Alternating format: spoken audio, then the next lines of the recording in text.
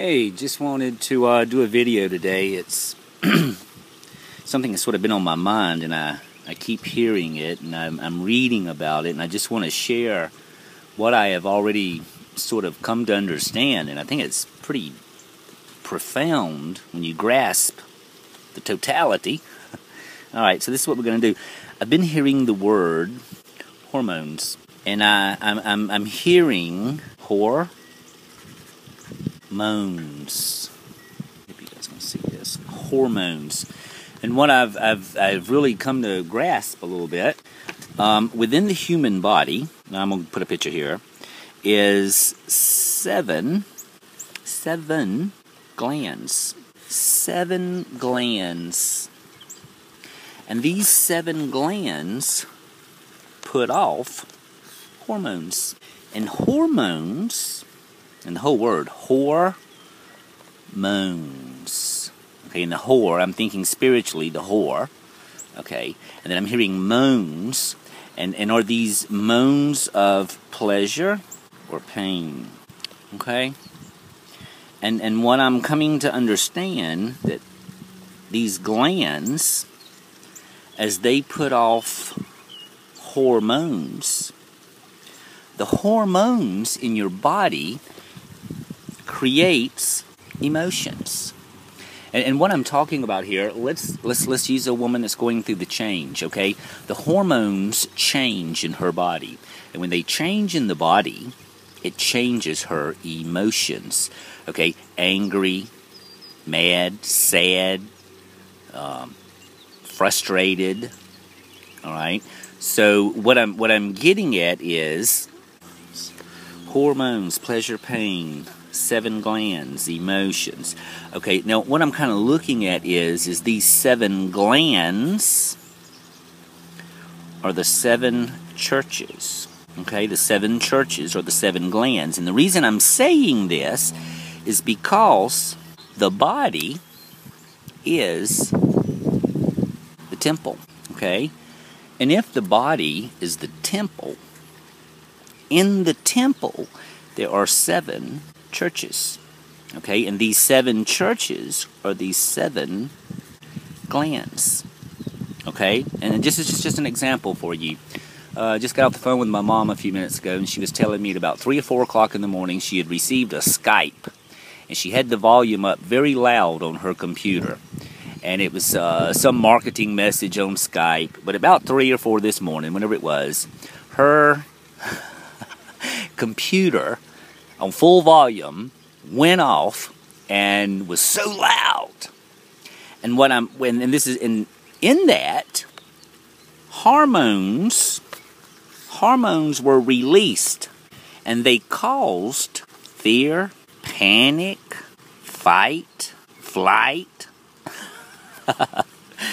you, you see, because of the hormones that were released. Now, this is what I want to tell you. Of this, and I'm proposing proposing this. I don't want to upset people. I'm just proposing. Okay. If this is true, then what affects hormones? Or is that uh, W H O R E? Hormones. Hormones. What affects it? Well, guess what the answer is? Light. Light that enters the eyes goes to the pineal gland, which is one of the seven, sorry, there are seven glands, okay, and then based on what comes in here, stimulates glands or hormones that go to the other six glands. Then those glands respond in the area that they are responsible for. Okay? Now I want to try and uh, put in here the seven glands and kind of what each one of them's for. I'm going to stop right there. Okay, so now that I've shown you that, that they're the seven pineal or the seven endocrines, the seven glands of the body, And I've said that light that enters the eyes affects the pineal, which affects the other six glands. You see, sort of like what recipe will they put out? What emotions will it cause? Um, light is divided into colors. Okay? Into colors. And so this is where the rainbow thing comes in. Okay, we have the red, sorry, red, orange, yellow, green, blue, indigo, violet, indigo, sorry. So the Roy G. Biv. And then in a funny way, uh, I think in the last video I was showing that a lot of people never get past the third level. Okay?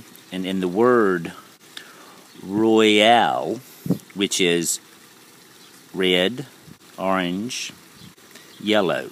Okay, that's the first three colors, or the first three churches, so to speak. Most people never get past those first three. All right, but what I'm going is is light. So if a person is being exposed to a lot of red light, it changes this, which changes this. If a person is getting a lot of orange light, it changes this and it changes this. You see, totally different emotions are happening because of the light. You know, I mean, you've heard this, you've read this, you know that if you paint a room blue, or if you paint it yellow, or if you paint it pink, or if you paint it green, and certain industries do this and do that and do this. Well, the reason is, is because it affects the hormones. How you, what your emotions are, what you feel. And what I want to show you is so we have light, and light is broken into colors. You got one end of the light spectrum to the other end, and it goes. Uh, the real light spectrum goes from um, what is it? Red, infrared, infrared to ultra violet. Okay, and our eyes see on a spectrum of light and colors. Right, so now what I'm saying is your emotions are affected by light, and secondly, sound. You see, back to the story about my mom, the sound is what stimulated the hormones fear, panic, stress, run, fight. You see? And so then until her eyes could gather more light, those hormones were still in that state. All right, so light and sound affect your hormones, which equals your feelings, your emotions. You, you see? Now, I'm going to put in a picture of a TV. When you are sitting and watching a TV, you are receiving hormonal stimulations through visuals, colors, and sounds. Your hormones are being stimulated by the light that's entering into the eyes, the sounds that are entering into the ear. When you listen to a radio, your hormones are being stimulated. Just like the, the idea that Music calms the savage beast. Well, what is happening is is the music is stimulating hormones within the animal that are blissful. And what I'm trying to say is is whether you understand this or not, you are being manipulated. Your hormones are being controlled.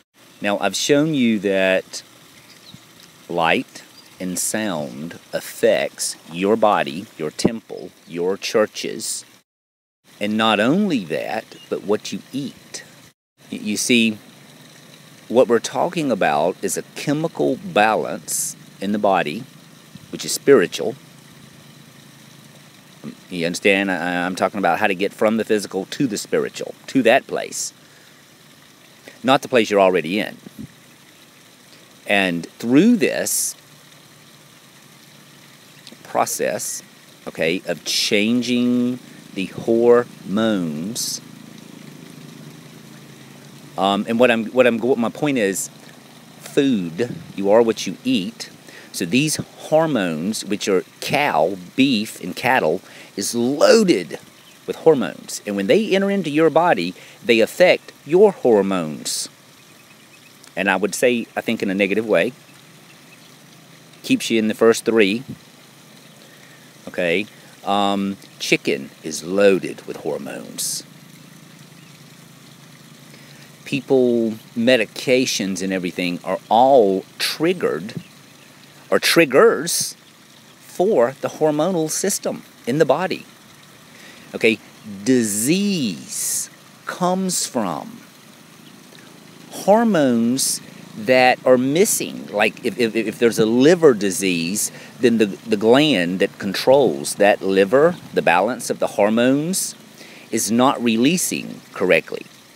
Okay, but it could not be releasing correctly because it's so affected by the light and the sounds. And I'm going back to hear no evil, see no evil, speak no evil, and the fourth monkey, which is imagine no evil.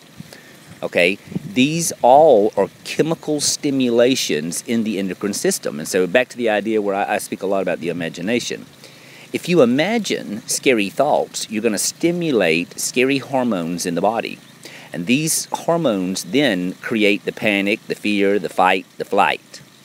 If you have blissful imaginings, thoughts, Okay? If you closed your physical eyes and only used the third eye, you can stimulate in a positive way happy thoughts, ice cream, balloons, kids playing. These thoughts are stimulating hormones that are sending signals to other hormones in my body, and then they respond. They see the kids playing, they feel the kids playing, they smell the candy and the sunshine and the fresh air, and they hear the waterfall. So, hormones are affected, and the hormone is the emotion. Okay, so now I'm going to read a scripture for you. Um, in King James Version, the word whore shows up 14 times.